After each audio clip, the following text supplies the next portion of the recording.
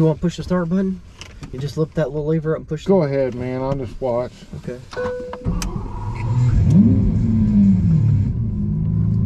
It's got the V12 in it? Or? Yeah, at V12. Yeah. Yep. I think we look good. You don't have a cast on anymore. Oh, you see me when I cast? Yeah. I, I didn't have the car hardly any, and uh, and it was uh, I broke it. Yeah. I fell off a pier. Helped my mom and dad rebuild one. What you do for a living? Well, I was, uh, I'm retired from the Air Force. Uh, was a flight engineer on AC-130 gunships, if you ever heard of those. No, but it sounds interesting. And then, uh, then I've been working on Army helicopters here, like as an electrician doing modifications on helicopters. But I haven't worked the last two years just because uh, with uh, being military and being able to get disability and Social Security and everything, I'm I'm all right, which is a good thing. Okay. That's that's awesome. I'll show you pictures of gunship over down the right. Oh, oh, excellent. I definitely want to see. So, what kind of cancer did you get? I had melanoma, uh, I had a mole removed when I was in the Air Force in 2008. They never came back and told me it was positive for melanoma. Oh my So, goodness. Uh, 2019, summer 2019, it, uh, I had a, like a golf ball in my armpit from my one lymph node swell up. And that's what really kicked it all off. So, yeah, about 10, 11 years in between small spot to full blown stage four. So it was in my adrenal glands, like the size of a basketball, in my uh, armpit.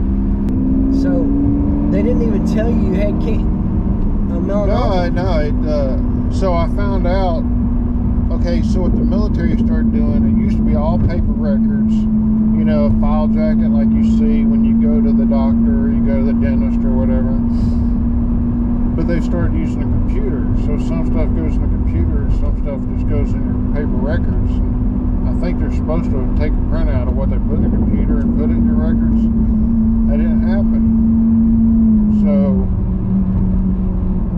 during all this, I was seen at uh, Crestwood, not Crestwood, uh, Fox for a little bit by one of the Army doctors.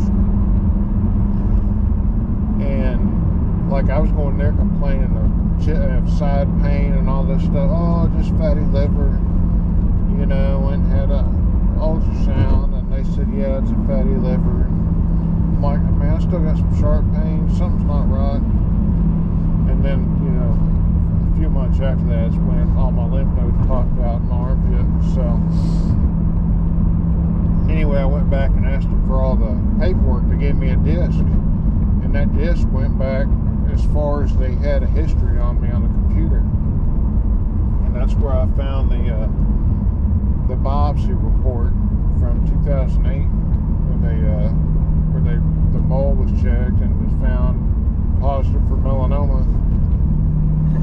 It says they tried to contact me and they never were able to get a hold of me. Oh, bull crap. You know, there's different ways to get a hold of people in the military. You know, Um, just walk down there to me. Yeah.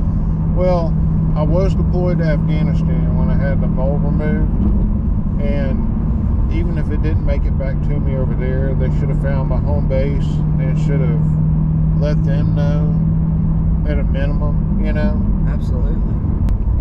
But you're doing good now. They got it took, they got it took you out and taken care of. Oh yeah, yeah. That's it's uh used immunotherapy and it shrunk it down. Uh, I only had to have five lymph nodes removed, and that was from the biopsy this time. Uh, so they used immunotherapy and shrunk it down, and then the the one that was like a basketball, the, the adrenal gland, they the immuno shrunk it down, and it got to. Uh, like a baseball size, and they pulled it out. And so, and can, and the, uh, the medication, I had to switch to uh, targeted therapy, and uh, it's been pretty good.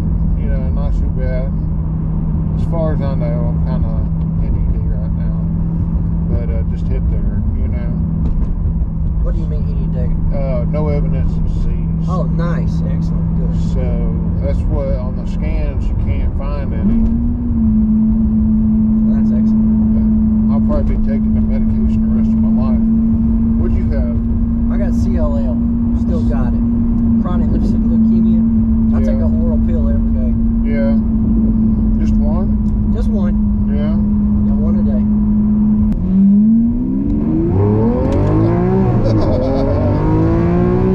there you go. That was good. Wow. You must. You like sports cars? You like cars?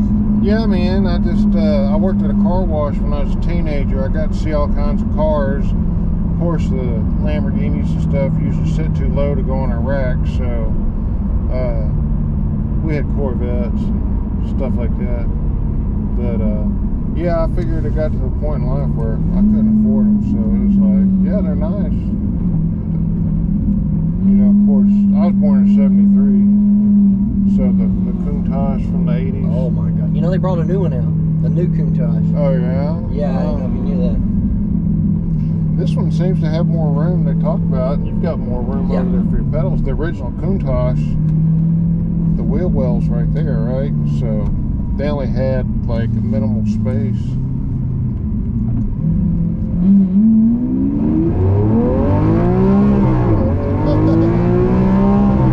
Just when you start off. It does. It has a G meter down here. Oh, it does? Yeah, every time you take off, it's showing how many G's you're hitting. Did it stop at the highest one or did it go back down? I don't know. I've never paid attention. Keep watching that car. so you in Afghanistan on a gunner ship? You said? It's a it's a C-130, and we got cannons, uh, 40 millimeter cannon, 105 millimeter cannon on the side of the airplane, so we can fly in an orbit and keep our guns pointing towards the target all the time. We primarily uh, cover Navy SEALs and three other agencies and stuff like that going in. So, uh, like capture, kill somebody, and we can we ha- we can have multiple sensors. Like we have a uh, infrared thermal imaging, and we have the uh, low light television, like NVG camera, and uh, we can see who's friendly, who's bad How do you before do? How do you see that? Right, maybe you're not supposed to tell I'll have to show you a video. Okay. We usually we're usually there before the friendlies arrive. All the friendlies have infrared strobes on their shoulders, but we can usually see all the enemy. Like either they're sleeping, and we can tell whether they got lights on. Like, like infrared camera can't see light, but the but the uh, NVG camera can. So it's kind of cool to get the best both. So we keep one camera on the friendlies and one camera on the enemy and then you can train the guns to point to whichever sensor you want, and you put both guns on one sensor. And but uh, we're kind of like surgical firepower uh, sniper, you know? Yeah, you are. With a 40 millimeter cannon and a 105 millimeter cannon. I did work with a couple of conventional forces, uh, but that's usually when you don't have any other work to do. Like they'll have, hey, if some Marines got in trouble out there, go see what you can do for them. You know, they don't know how to work with us. They haven't been trained. So we'll just we'll say, hey, your enemy's over here. We can see them. Do you want us to take care of it? And they either say yes or no. then we just go to town. So we can work. Uh, what they call kinetic. We don't have to have anybody on the ground to do our job. But if there's any friendlies in the area, we will have somebody on the ground. Want to go get gas from me, or you want to go back? No, man, well, I'll ride as long as you want to ride. Okay, let's go. Let's go get some gas. We got to check a G meter on one of those poles. Okay. Maybe we slip back by the gravel grab one real quick. Traffic's not bad at all. Oh, okay. Well, we need more gas, so we said. Yeah, we gotta get gas. Okay. Yeah, we gotta get gas. How much gas does this thing hold? Not very much.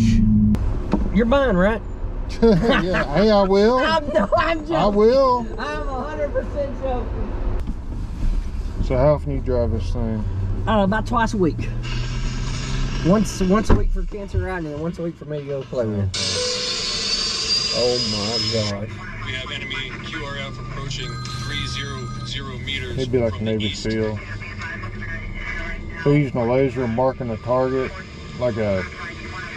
Like we already come around the mountain. We got people that take pictures of this. Um, and do-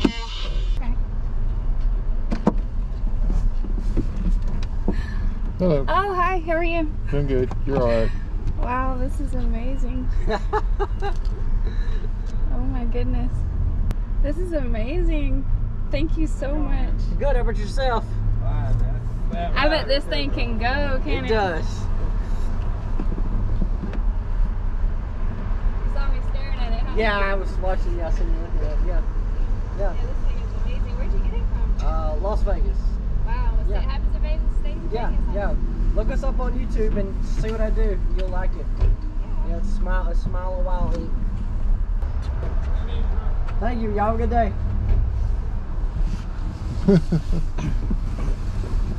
Deal with that all the time. All the time, yeah. Lock down my guns, shut down. Yeah.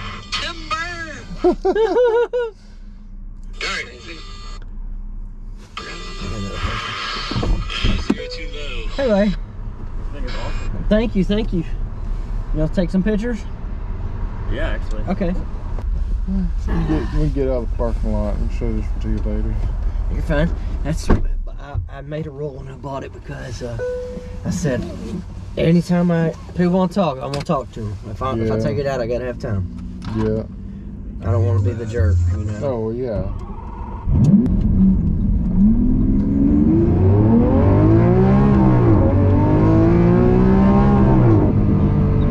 What'd we get to? It, was- it only like 0.5. Point That, five. that can't be right. You're at 1G. Well, I'm trying to remember. I know that doing a barrel roll in an airplane is a 1G maneuver because if you keep it at 1G, then all the fuel and all the oil doesn't slosh. It stays where it's They're gonna supposed hit. to. Oh my god, he got over. Do what? I thought that Prius was gonna hit the other car because it wasn't stopping. Oh. So if you're doing a barrel roll, all the, the stuff what? If you if you get a if you're gonna do a barrel roll on an aircraft, it's a one G maneuver. So when the uh, 707 it's also our tanker KC-135 when it first came out, the test pilot rolled a 707. You know, barrel rolled it, and. Uh, I guess the owner of Boeing's like, hey, just because you can do it doesn't mean you have to, you know? But C-130s aren't meant to go upside down. The way the oil pickup is in the tank, it's like a hose that lays in there. So if you go upside down, the hose won't go down, won't go all the way up, and the, oil will be on the top side of the tank. So you lose oil pressure and shut down your engines in flight. But if you keep 1G on it. We, just never do that. No, no. C-130. Golly, that car just went right in front of that other one. Oh, I just red light just people are driving crazy today. just went.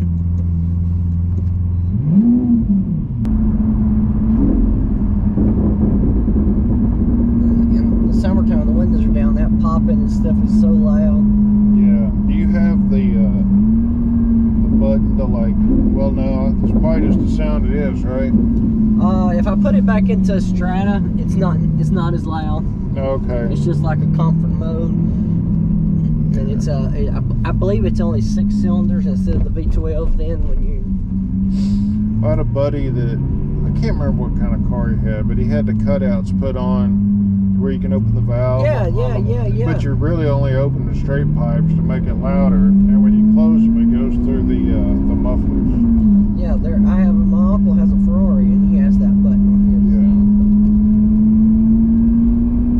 Yeah. Yeah, we got three cars now. Actually, we got four cars: two Audi R8s, a Ferrari, and this that are all interested in doing the ride. So Well, it's cool. gonna be like pick your pick your car that you want to ride in. It's awesome. I would love to be on that ship with that plane with you. Leon. Yeah. Oh yeah. I would love Oh, it's a it's a lot of fun. You know, I mean, it can be a lot of boring at times. You know, going back and forth, or if you're over an op where you know you're not going to shoot, you just you got to watch them. You know, like let's put it this way: a lot of the guys on the ground. As long as we were overhead, the enemy wasn't going to act up. They could see you. They could. At the beginning, they didn't know what we were. Like they thought we were a spotter plane for artillery coming over the hill, and then we dropped leaflets and said, "Hey, this is what's killing you. You know, we've got a death ray and all this stuff. You know." Okay, so it's an AC-130 gunship. The infrared ball is on the nose, and the low light camera system is in what used to be the door of C-130 Uh huh. used to have 20 millimeter Gatling guns in those windows and 7.62 miniguns up here. So we only have a 40 millimeter and a 105 millimeter. The reason we don't have 20s and 7.62s is because you got to be below 2,000 feet for them to be effective. Which one's you on that picture back there? Because Um, my eyes are so bad. I'm right here in the, the bottom center, believe it or not. Right by her, by her. Well, no, over one. You're so- the tall one right here. Yep, I'm the You tall one. You lost a lot of weight. Yeah. So I was around 300 pounds. Quick, just before I get up. Yeah, to, yeah. If you move your head, you get a Lamborghini right behind your head. If you Oh. could slide there, you, one way. There you There go. you go. car. Oh, thank you, sir. Appreciate it. Oh, the carbon fiber everywhere. Good, I'm I- take a picture of it, man. I saw Yeah, you earlier. Yeah, you take all the pictures you oh, want, Oh, bud. this is a, oh.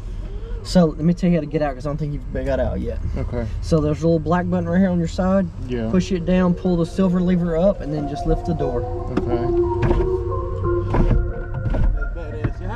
You too, buddy. Thank you.